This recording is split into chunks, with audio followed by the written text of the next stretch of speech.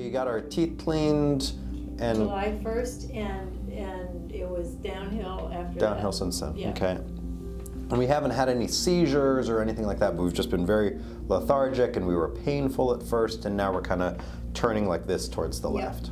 Okay. And falling.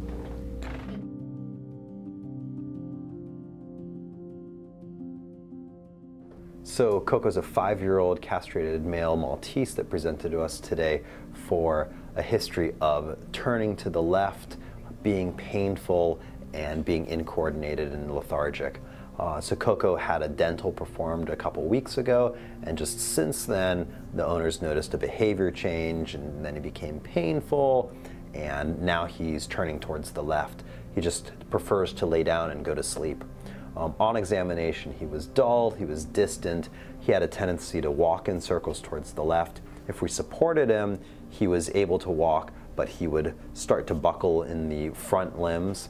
Um, the nerves around his face were normal, so he- his cranial nerves were normal, um, and his spinal reflexes were normal. So when we have a five-year-old dog that is walking in circles, has evidence of behavior change and pain, um, that's a Maltese, the primary concern is for something like encephalitis. Encephalitis in dogs is typically autoimmune, meaning an overactive immune response. Uh, the immune system is the body's defenses against things like infections. So normally the immune system is uh, looking for infections and only mounting an attack against things that aren't part of the body or foreign things, infections, etc. And what autoimmune disease is, is when the body loses the ability to tell what's me and what's not me and mounts an attack against itself. So.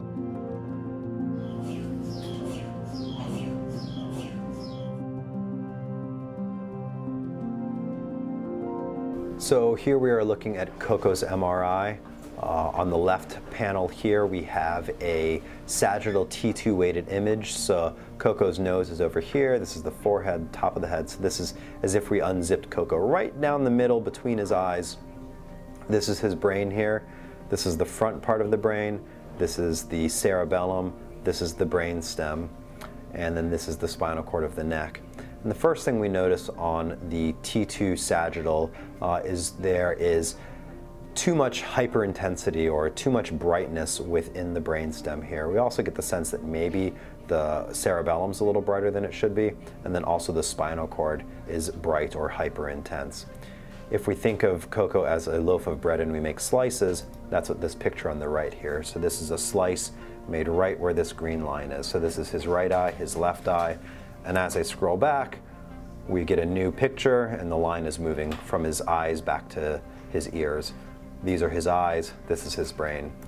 And as we scroll back, we start to see there's brightness in the left side of the brain here um, that we don't see on the right. Uh, we do start to see some of it on the right as we get further back.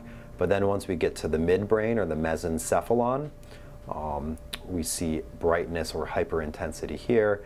Uh, the whole mesencephalon is actually quite bright, and then as we get back into um, the brainstem, it's hyper intense as well. So all of this. Um, also, there is fluid within the left um, middle ear canal, but the pathology, the abnormality that's causing his changes in behavior and his dullness and his turning to the left is all of this brightness within the brainstem here and within the uh, left thalamus. So that's what's causing all of his symptoms. This is very consistent with inflammation or encephalitis. So the next thing we did was a spinal tap where we use a needle to collect this fluid uh, surrounding the brain and spinal cord. And we look at the number and type of cells. Normally, spinal fluid should have less than five nucleated cells per microliter, and Coco had about 800 nucleated cells per microliter. So very, very abnormal. Since it's autoimmune in origin, treatment is immunosuppressive medications to decrease the immune system so, or decrease the overactive immune system. So we do that with drugs like prednisone, but we also add in other immunosuppressants that um, are just more powerful and let us use smaller doses of prednisone and smaller doses of the other immunosuppressants. That way we can get a um, additive effect between the two of them. Coco is going to stay with us tonight on a Cytosar CRI. Cytosar is that second drug that um, is also an immunosuppressant that we use in addition to the prednisone.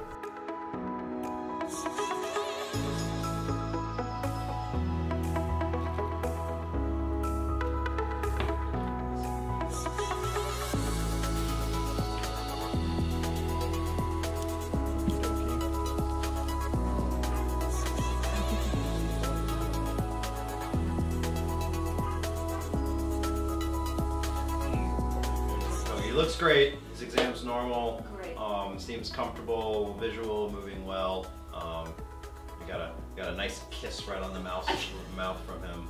Um, so he's doing great. Um, the, so we did Cytosar number six today. Um, We call him the miracle dog. That makes you the Ongoing. miracle doctor. You do. All right, buddy. All right, All Coco. right, Appreciate it. Okay, bye.